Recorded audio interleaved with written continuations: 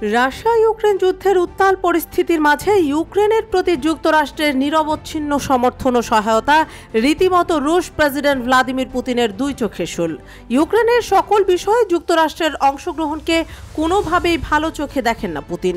এর মধ্যে জার্মানিতে দূরপাল্লার ক্ষেপণাস্ত্র মোতায়েন নিয়ে যুক্তরাষ্ট্রকে কড়া হুঁশিয়ারি দিয়ে বসলেন তিনি। আঠাশ জুলাই রবিবার তিনি ঘোষণা দিয়েছেন যে ওয়াশিংটন যদি জার্মানিতে দূরপাল্লার ক্ষেপণাস্ত্র মোতায়েন করে, তবে রাশিয়া পশ্চিমা সীমানায় আঘাত হানতে একই ধরনের ক্ষেপণাস্ত্র মোতায়েন করবে। গত দশ জুলাই দূরপাল্লার ক্ষেপণাস্ত্র মোতায়েন করার ঘোষণা দেয় যুক্তরাষ্ট্র। একই সঙ্গে দুই হাজার ছাব্বিশ সাল থেকে জার্মানিতে দীর্ঘমেয়াদে ক্ষেপণাস্ত্র মোতায়েন করার ঘোষণা দেয় দেশটি। এ কর্মসূচিতে S M six Tomahawk cruise missile এবং অন্যান্য হাইপারসনিক অস্ত্র অন্তর্ভুক্ত থাকবে বলে ওয়াশিংটন জানিয়েছে। যুক্তরাষ্ট্র এ পদক্ষেপের মাধ্যমে স্নায়ু যুদ্ধের মতো ক্ষেপণাস্ত্র সংকটের ঝুঁকি নিচ্ছে বলে সতর্ক করেন পুতিন। সেন্ট পিটার্সবার্গে রুশ নৌবাহিনী দিবস উপলক্ষে দেওয়া ভাষণে এ হুঁশিয়ারি দেন প্রেসিডেন্ট পুতিন। এ সময় রাশিয়া, চীন, আলজেরিয়া ও ভারতের নাবিকরা উপস্থিত ছিলেন। ভাষণে পুতিন বলেন, আমাদের ভূখণ্ডের লক্ষ্যবস্তুতে এ ধরনের ক্ষেপণাস্ত্র নিয়ে নজরদারি করা ঝুঁকিপূর্ণ। ভবিষ্যতে এই ক্ষেপণাস্ত্রগুলো পারমাণবিক ওয়্যারহেড দিয়ে সজ্জিত করা হতে পারে।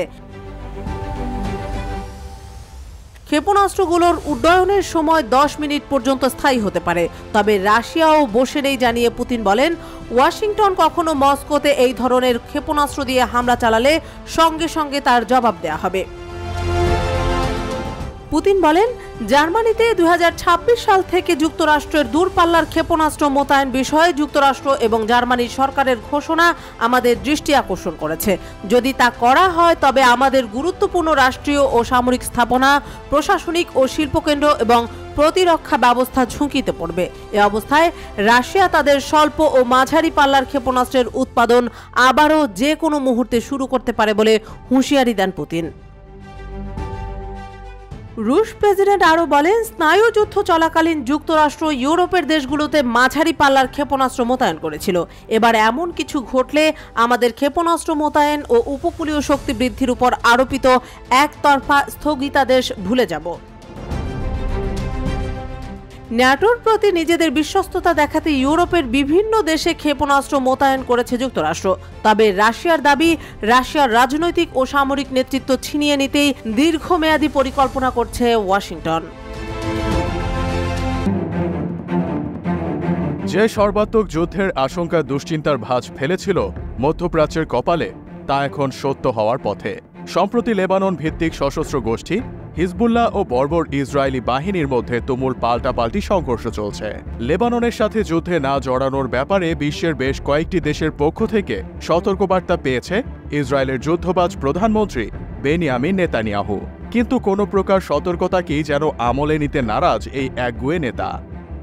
এবার লেবাননের সাথে চলমান প্রবল উত্তেজনার মাঝে দেশটিতে নতুন যুদ্ধ ফ্রন্ট খোলার ব্যাপারে ইসরায়েলকে সতর্ক করেছে মিশর। একই সাথে গাজায় অবিলম্বে যুদ্ধবিরতির আহ্বান জানিয়েছে দেশটি। উনত্রিশ জুলাই সোমবার মধ্যপ্রাচ্য ভিত্তিক নিউজ ওয়েবসাইট মিডল ইস্ট মনিটরের এক প্রতিবেদনে এই তথ্য জানানো হয়েছে।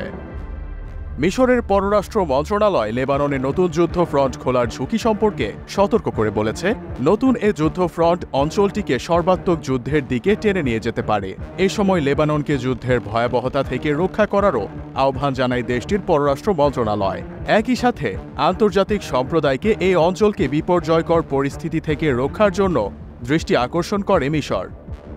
মিশরীয় পররাষ্ট্র মন্ত্রণালয় আরও বলেছে, মানবিক দুর্ভোগ কাটানোর জন্য যত দ্রুত সম্ভব গাজা যুদ্ধ শেষ করতে হবে।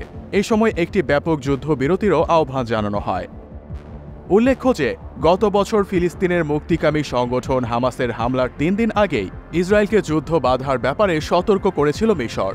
তবে ইসরায়েলের প্রধানমন্ত্রী বেনিয়ামিন নেতানিয়াহু এই সংক্রান্ত প্রতিবেদন ও সতর্ক বার্তাকে সম্পূর্ণ ভিত্তিহীন বলে অভিহিত করে উড়িয়ে দেন।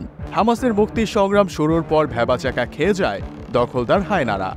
হামাসের হামলার পর থেকে ইসরায়েলের গোয়েন্দাদের ব্যর্থতার বিষয়টি ব্যাপক সমালোচনার মুখোমুখি পড়ে। এবার মিশর ইসরায়েলকে লেবাননের সাথে যুদ্ধে জড়ানোর ব্যাপারে সতর্ক করল।